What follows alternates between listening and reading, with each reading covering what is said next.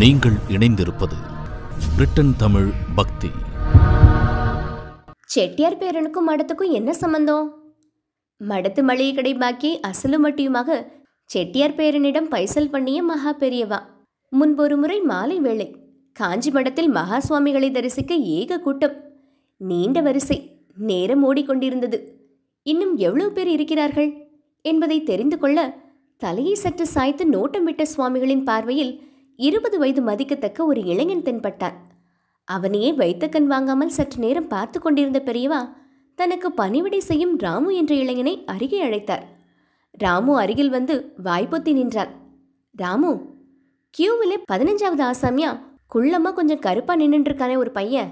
அவன் சைஸுக்கு சரியா இருக்காப்ல ஒரு சட்டை பேண்ட்டு துணி வாங்கிட்டு வரணும். ஆஃபீஸில் பணத்தை வாங்கிக்கோ. மடத்துக்கு பக்கத்தில் இருக்கிற முதலியார் ஜவுளி கடையில் நல்ல துணியாக பார்த்து வாங்கிட்டு வா. என்று கட்டளையிட்டார் சுவாமிகள். ராமுவுக்கு ஒன்றும் புரியவில்லை. குழம்பினான்.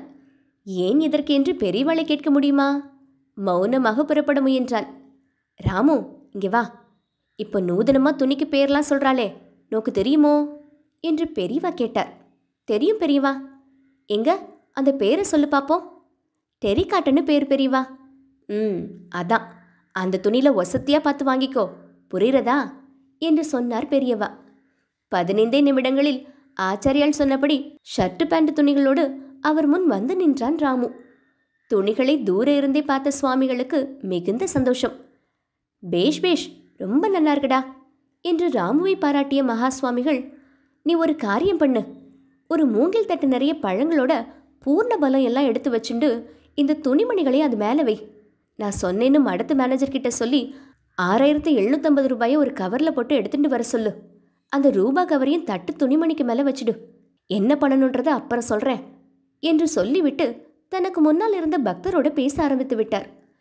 பெரியவா உத்தரவுப்படியே ஆறாயிரத்தி எழுநூத்தி ஐம்பது ரூபாய் ரொக்கம் ஒரு கவரில் போட்டு வந்து சேர்ந்தது. ஜாடையிலேயே அதை தட்டின் மேல் வைத்துவிட்டு போகுமாறு உத்தரவிட்டார் பெரியவா. இப்போது அந்த இருபது வயது இளைஞன் சுவாமிகளுக்கு முன் நின்றிருந்தான். ஆச்சாரியால் அவனை ஏறிட்டு பார்த்தார். அவன் அப்படியே கீழே விழுந்து நமஸ்கரித்து எழுந்தான் சுவாமிகள் ராமுவை திரும்பி பார்த்தார்.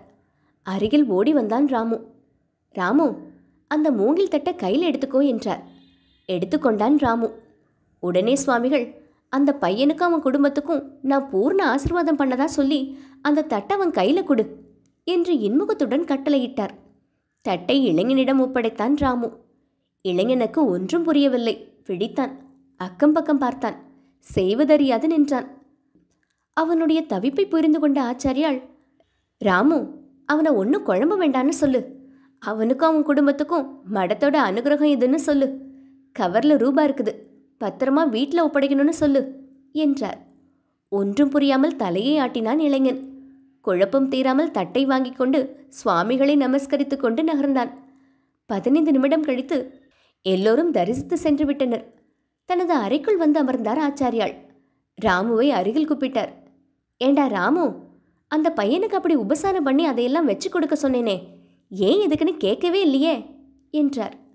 ராமு தயங்கியபடியே பெரியவளை பார்த்து நான் எப்படி கேள்வி கேட்கறது? உங்கள் கட்டளையை நிறைவேற்றத்தானே நான் இருக்கேன்? என்று பதில் சொன்னான். சரி நீ கேட்க வேண்டாம் நானே சொல்கிறேன் என்று கூறிவிட்டு பேச ஆரம்பித்தார் சுவாமிகள். ரொம்ப வருஷத்துக்கு முன்னாடி நடந்த சம்பவம் இது. அப்போ நம்ம மடத்துக்கு கொஞ்சம் சிரமமான காலம். அப்போ ஒரு மாத காலம் பரிவாரங்களோட வடதேச யாத்திரை போயிட்டு வரலாம்னு முடிவு பண்ணி புறப்பட்டேன். நல்ல வேலையாக பார்த்து யாத்திரை கிளம்பினோம். மடத்து வாசலுக்கு வந்தேன். மடத்துக்கு ஏத்தாப்புல ஒரு சின்ன மளிகை கடை உண்டு. அது ஒரு செட்டியாருக்கு சொந்தம். மடத்துக்கு அங்கே தான் மளிகை சாமான்கள் பற்றுவரவு கணக்கு. மடத்து வாசலில் என்னை பார்த்ததும் மளிகை கடை செட்டியார் வேகமாக ஓடி வந்தார். தன் மேல் வஸ்திரத்தை இடுப்பில் கட்டிக்கொண்டு சாஷ்டாங்கமாக நமஸ்காரம் பண்ணினார். நான் யாத்திரை போகிறது தெரிஞ்சு நமஸ்காரம் பண்ணிட்டு போக வந்திருப்பார்னு நினச்சேன். என்ன செட்டியார்வாள் சௌக்கியமா? மளிகை வியாபாரம் எல்லாம் எப்படி போகிறதுன்னு விசாரித்தேன் அதுக்கு அவர் வாயை பொத்திண்டு பவ்யமா சுமாராக போகிறது சுவாமி? கஷ்டமாக தான் இருக்குது. பெரியவ வடதேச யாத்திரை போகிறதாவும் திரும்பி வரதுக்கு அஞ்சாறு மாதம் ஆகும்னு சொன்னாங்க என்று மென்று விழுங்கினார். ஆமாம் செட்டியார்வாள் அஞ்சாறு மாதம் ஆகலாம் என்றேன். உடனே அவர் ரொம்ப யோசனை பண்ணி தயங்கி தங்கி சாமி மடத்துக்கும் நம்ம மளிகை கடையிலேருந்து தான் பற்று வரவு கணக்கு. சாமிக்கே தெரியும். நாலஞ்சு மாசமா மடத்துக்கு மளிகை பாக்கி அப்படியே நிலுவையில் இருக்குது. எனக்கும் கஷ்டம். நாலு மாசம் கடை வாடகை பாக்கி. கஷ்டமா இருக்கிறதால தான் உங்ககிட்ட குறைய சொல்லிக்கிறேன்.